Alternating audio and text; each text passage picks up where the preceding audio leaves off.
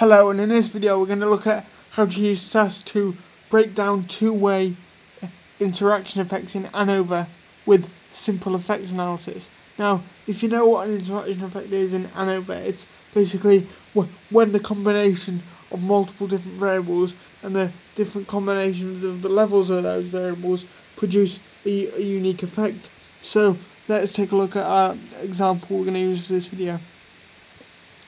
Uh, I've got a SAS dataset open here where we've got two categorical variables and one continuous variable. We've got message and we've got relevance and each of those uh, variables have got or each of those factors have got two levels.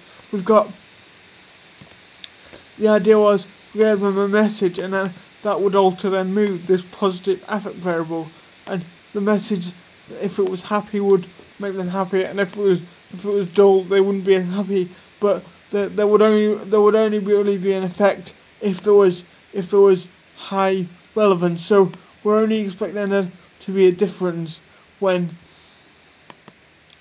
rele relevance is high and it's happy versus dull. But those there won't be a difference between those two types of messages when relevance is low. So um, if we look back at our code here, I've just got a standard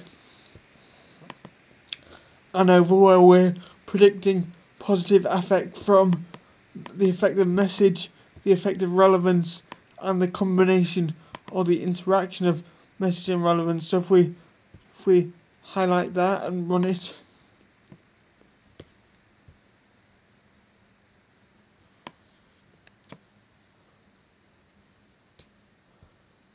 We should get some output and we see that over overall that ANOVA is significant.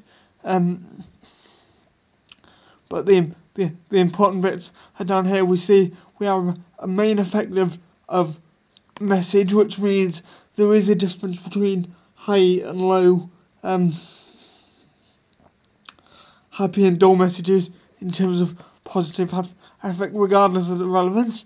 And there's a difference on happiness between high and low relevance, regardless regardless of the message. But these effects are what is called marginal, or not as important when there's a presence of a higher higher order interaction effect. And because it's because it's the interaction effect of those two effects combined combined together, it's kind of more important. Well, how do we interpret that interaction effect if it means that the effect of one variable is somehow uh, dependent on the effect of another, then a good way to look at that is a is a is a graph. So um, I happen to have some more more code here that's gonna um, give us a graph of those video um, give us a graph of those um, data. What this is gonna do is it's gonna plot the means of the different messages um, in a bar graph, but it's it's gonna group them by relevance. So if we if we run that, we should again get some output, and indeed we do. So um, what what what what this interaction appears to be showing is that the there is pe people with high relevance are a, a lot happier in the happy condition than people in in the dull condition, but the the the difference seems to be much bigger when relevance is high, which is this blue column. So this disparity in the blue bars is much bigger than just dispar disparity in the, in, in the red bars. But how do we, how do we test if this is statistically the case? Well, we can basically do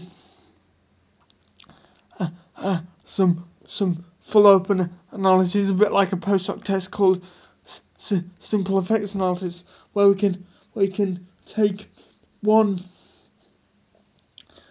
one of the variables and say at each level of, the, of, of this variable is this any different. So in this case, we're gonna um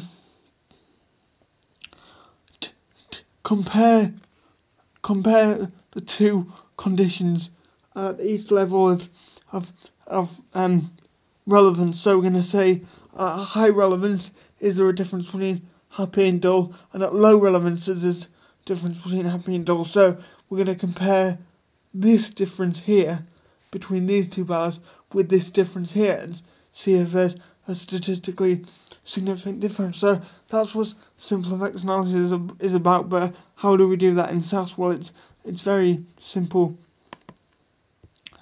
This is a standard G- GLM statement that we get in ANOVA that produce the ANOVA output. But to do that, we just add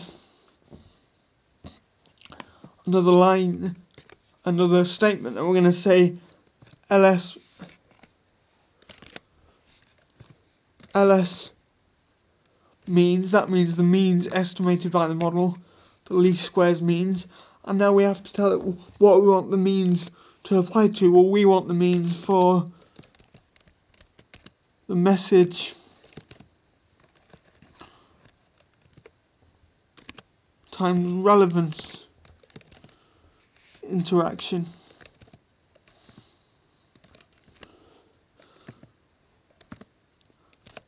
And how the next the next thing you need to specify is how how, how are we going to split this? Well, remember I said we were, we were going to compare whether there's a difference between high and low, high, happy and dull people at high and low relevance separately. Well, if we're going to do high and low relevance separately, we need to split based on relevance. So to do to to do that, we're going to say slice equals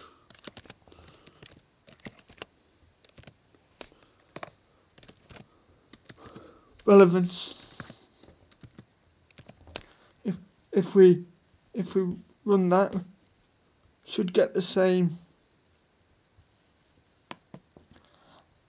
output, but this time we'll have an an extra test of our simple effects of we we saw the interaction was significant, but if we scroll down we get no extra output, which is um, little annoying. I must have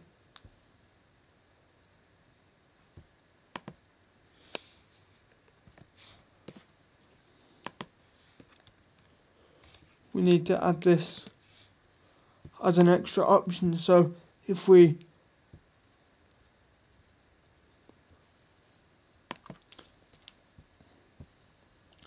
we run the code now